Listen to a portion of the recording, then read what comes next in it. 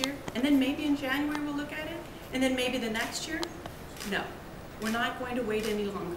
I'm going to fight for these kids, and I'm going to fight because every fight that's worth it, every single fight that is worth it, I'm going to be pushing forward. And these kids are a great example of why we need to bring it to special session and not wait any longer.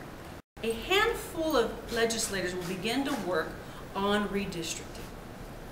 And I will tell you from the stories that I have heard from past redistricting, people are not in their offices working while that handful are doing the job. Why aren't we in committee meetings? Why aren't we working on what is our priority? If it truly is our priority, then we'll start getting the committee meetings together, we'll start voting, and we'll put it to the floor, and we'll vote. And we'll let everybody know where we stand on the issues.